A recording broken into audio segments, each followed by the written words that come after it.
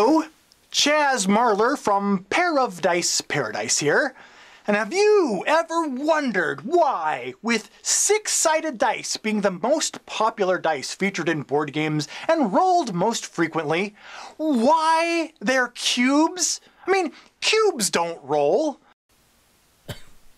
The phrase isn't a rolling cube gathers no moss. It's, hey, how come that mossy thing isn't rolling? Because it's a cube, Larry.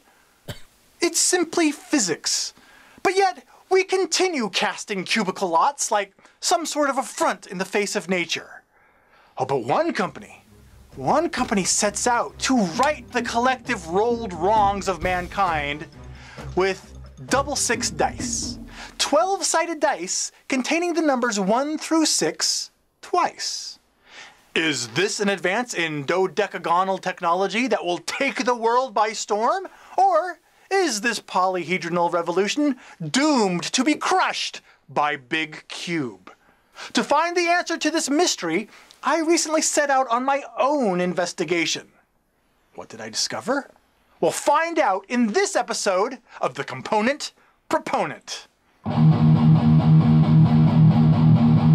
Saving your game from the mundane,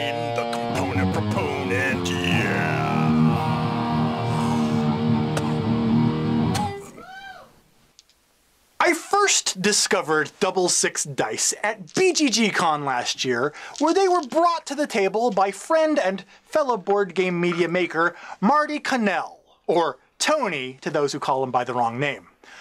Demonstrating his flair for nonconformity, Marty played our entire game using these strange 12-sided dice in place of the regular six-sided ones. But unfortunately, Marty was paying attention too closely for me to successfully steal his dice from him, so I had to go out and procure a set of my own. And upon receiving my own set, I discovered that these fancy dancy little dodecagons featured the numbers 1 through 6 on two sides each, effectively turning a 12-sided polyhedron into a 6-sided dice. Even more surprising, this was achieved through mortal science, not arcane magics, as I had first suspected. Is this shifted shape effective, though?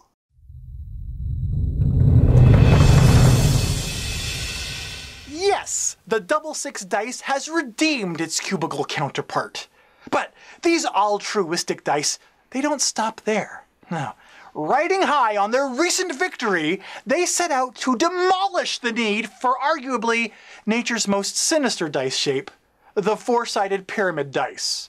Also known as triangles of turmoil, the sinister strongboloid, foot-stabbing obelisks of agony.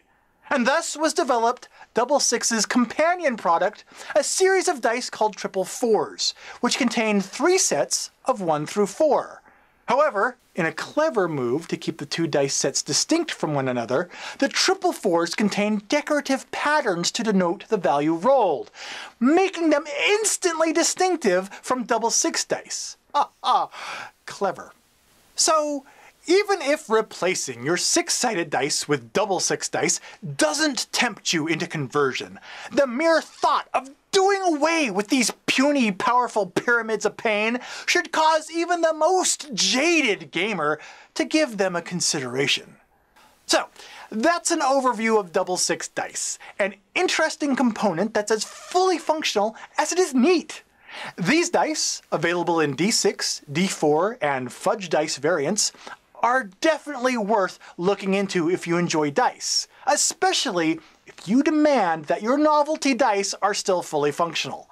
Because when it comes to that, these dice definitely fit the bill. And there you go. Thanks for watching this component review. And if you have a board game component that's worth talking about, contact me at components at pairofdiceparadise.com and perhaps I can discuss them on an upcoming episode. But until then, for more board game news, reviews, and commentary, be sure to click that fancy dancy little subscribe button that we all know and love.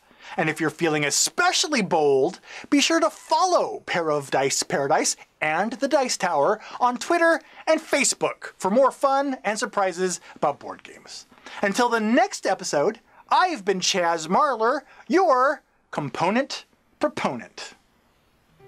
Thanks so much for watching the Dice Tower videos. Find more great videos and reviews, as well as our top rated audio podcast at Dicetower.com. You can also find other great shows at Dicetowernetwork.com. I'm Eric Summerer, and you've been watching The Dice Tower. The Dice Tower is sponsored by Cool Stuff Inc., where you can find great games for great prices. Cool stuff in stock. Check them out at coolstuffinc.com. Yes, folks, you can feel the feng shui flow as you're rolling a rounder shape, the way that nature intended. Harmony with nature has been achieved, and I think it's clear that the winner here is me for finding a way to get people to watch a video about me rolling dice.